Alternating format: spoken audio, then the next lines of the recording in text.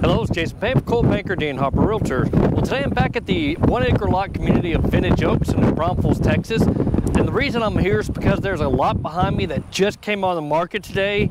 And as of uh, late March 2022, it's getting very difficult to find anything. So uh, yeah, when something comes on the market, I'm jumping on it to get some more information out. Anyways, this is a beautiful lot. The lot is 1321 Merlot. Well, I would say it's an interesting lot but let's go check it out. All right, this is a resale lot. The seller is asking 179 for it. You can see the orange flag over there, that's one side. And sorry about the wind, we do have a front coming through, but like I said, in this market, when something comes on it, you gotta get a video of it. And it cut to the other kind of big oaks up front. So you do have some really nice oak trees towards the front of the property. The property is 1.13 acres. Now, in front of it, this is a open space area, so nothing's gonna be getting built on right out in front of you. Really nice. And just over that direction, I know you can't see it from here, is the playground park area. They have live concerts there sometime during the summer. And just a little zigzag couple roads is the main amenity center with the Lazy River. This is on the propane side. God, I hope y'all can hear me. Um, so always have to factor that in. It is it usually costs about another five to six thousand dollars to bury a propane tank. But uh, yeah, showing off some of the oaks. There is a lot of cedar and stuff in here, so and you would have to build a culvert for your driveway coming in. But you can see off in the distance some of the other houses that have built on this road. It's also kind of nice that um, there's a little side entry that you don't have to go all the way through the community of Vintage Oaks to get to this spot. So it does give you really good access for getting in and out of the community.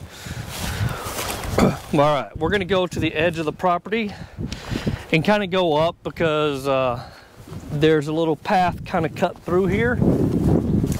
As you can see there, making it a lot easier because man, there's a lot of cedar that's gonna have to come out before this property looks usable.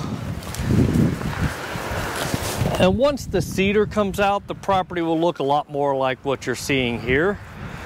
So all of a sudden it's like, wow, okay, that's a much nicer looking property. Yeah, they cut all the cedar out. So you picture this to be more of your front yard.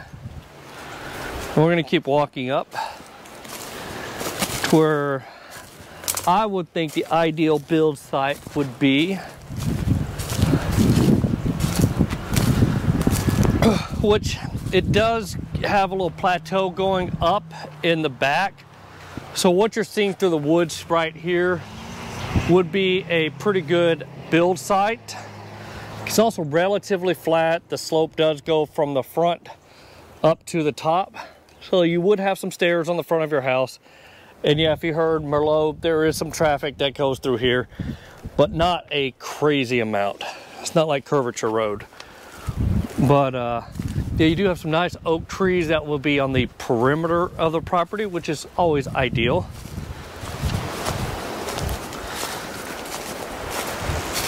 Just so you know that it's not going to be in the building envelope that they don't have to remove those oaks and you'll get to enjoy them. Let's crawl through the woods a little bit. This is why I said it's a little interesting. I don't know what happened, what's going on here, but looks like they were using this as a kind of little dumping area for some old rocks. But all this would have to be cleared out and uh, leveled and because yeah, if your house, this is a great spot for the house facing forward. And uh, let me check my phone real quick. I didn't check to see what the compass said. Well, yes, west is behind us. So yeah, the sun would be setting behind you, but there's a lot of trees and stuff that are back behind you. So like I said, I don't like having the sun setting right on my back porch.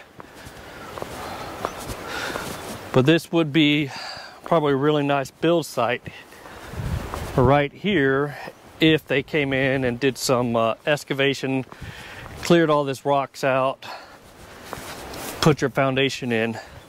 You do have another house just over up on the side.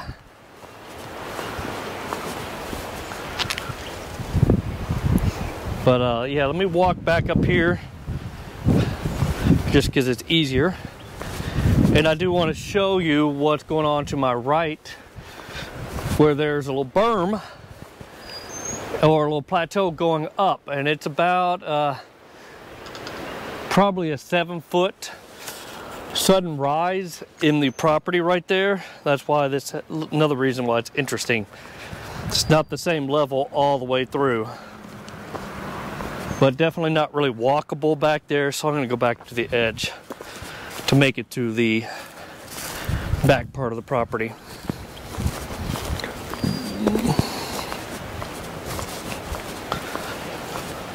But in this market, availability is the best ability. And this one's under 200,000. And like I said, it just came on the market. Today's day one.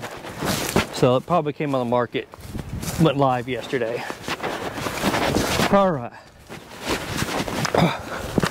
This side of the of that little ridge there is not nearly as steep, but you do have another relatively flat spot back here. So if you wanted that whole front area to be front yard, this could be a build site back here. It's clearing out a bunch of this underbrush. and also get you a little bit further away from uh, road noise.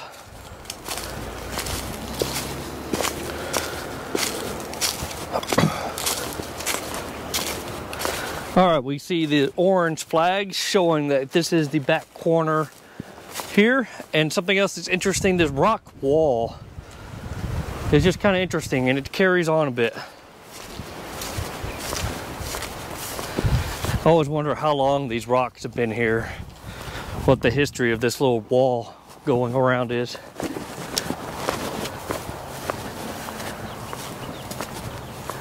But you can see we got some oak trees toward the back of the property as well. And I've been trying to get the plot map to come up. I'll have to look at that later. But I think your property line would still go back here a bit. And this is what I don't know. Is that part of their property? And I don't think it is. I think this is part of this property too. But there's more of that actual wall, that old rock wall that somebody put a lot of work into putting up.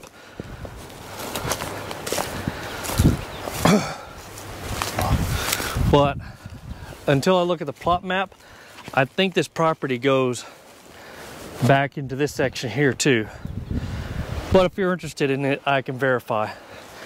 But you can see they did the very long driveway and they put their house on the back of the property.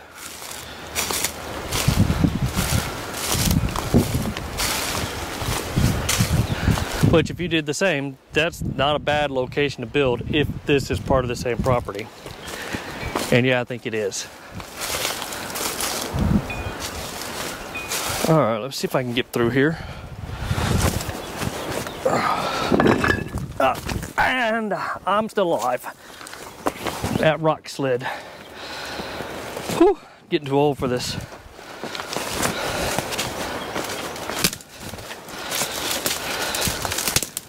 All right. Coming back down. Like I said, this isn't a bad property. It's just kind of divided into two spots. You got the lower shelf and then this upper shelf. We're still on that upper shelf. So yeah, if this was your build site, this isn't bad at all either. You just have a little bit further driveway and that little ledge dropping off that we saw earlier.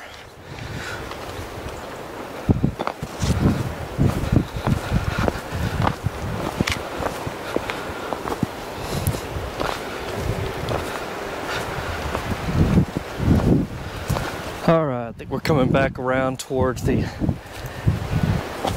oh, there's just another part of that ledge going down.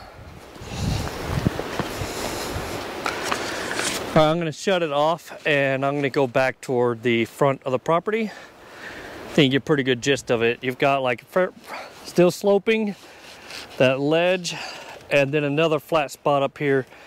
But until I get that plot map to come up on my phone, I'm just getting horrible reception. I won't know exactly the shape of this property.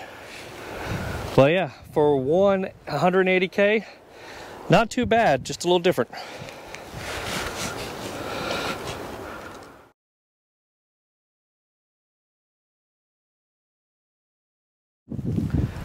All right, that's gonna wrap the tour of 1321 Merlot in the beautiful community of Vintage Oaks, New Braunfels, Texas.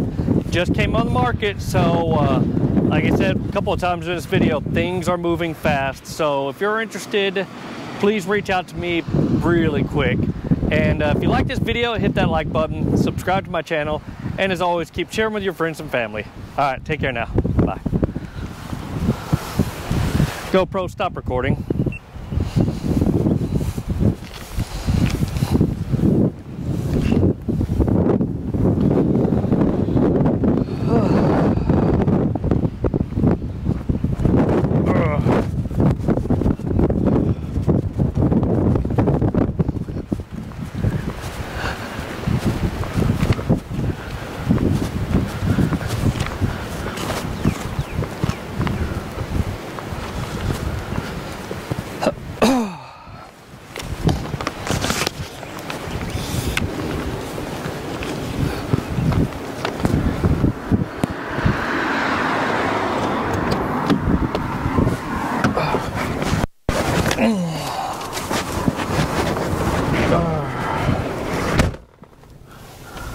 GoPro turn off.